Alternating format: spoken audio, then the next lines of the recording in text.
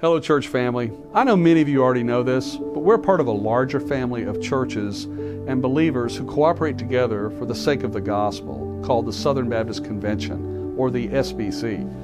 While most of you probably know that, some of you don't, but the SBC is 40,000, 47,000 plus churches. 18 million members with six seminaries, two missions agency, the International Mission Board, the North American Mission Board, and the Ethics and Religious Liberty Commission, or the ERLC. The SBC is the largest non-Catholic religious organization in North America. It has been my privilege to serve in various roles, from a trustee, one year I served as first vice president, I've been committee members on several committees, and even the president of our pastors conference in 2009. What I want to tell you today is that I've been asked to allow my name to be placed in nomination to serve as president of the SBC in this coming June's Nashville convention. Kathy and I have prayed about it and considered the impact of this decision upon our lives and our church.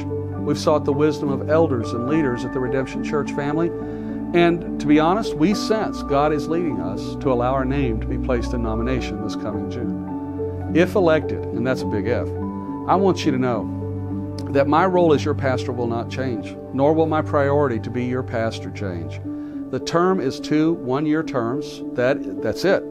My preaching responsibilities and priorities are here at Redemption. I, ask you for your prayers because of the nature of the challenges we face in our nation and in our denomination. I ask for prayers for wisdom and courage to lead if I should be elected to do so. If it's an honor to be asked, it's, it's an honor if I get to serve. But I'm going to tell you the greatest honor of my life is being your pastor. Uh, we have faced many challenges and experienced many victories together as pastor and people. And God has been faithful to us, hasn't He? Through it all. And in this hour, God is calling, maybe calling us to serve our convention. Then we need your support, your prayers, your faithfulness, and to call upon you to ask God to give me supernatural wisdom and courage. Thank you for being our generous, loving, faithful family.